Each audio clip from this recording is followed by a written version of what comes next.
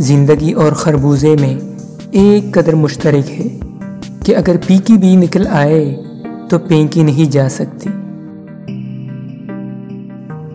हर वो शख्स जो आपको मोहब्बत की नज़रों से देखता है, ज़रूरी नहीं कि आपका खैर ख्वाह हो।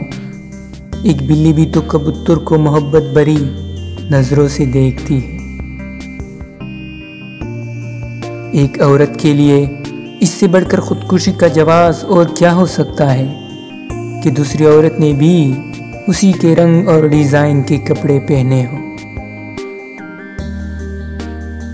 हर शख्स इतना अक्लमंद नहीं होता जितना कि उसकी माँ समझती है, और हर शख्स इतना बेवकूफ़ नहीं होता जितना कि उसकी बीवी समझती है। ज़्यादा समझदार और ज़्यादा बेवकूफ़ में कोई फ़र्क नहीं होता, क्योंकि ये दोनों किसी की नहीं सुनते।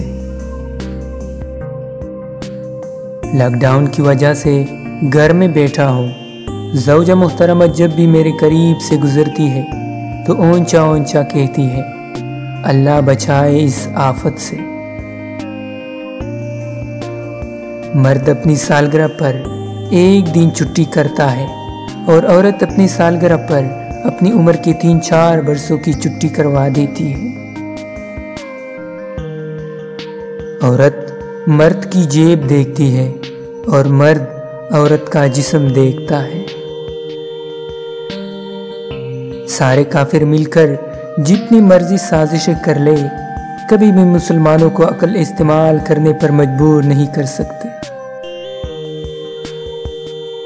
इंसान आखिरी लम्हे तक अपने आप को यकीन दिलाता रहता है कि मौत दूसरों को ही आती है।